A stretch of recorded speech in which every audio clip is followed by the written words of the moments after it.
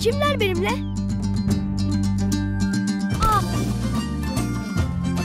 Merhaba ben Kaçkar.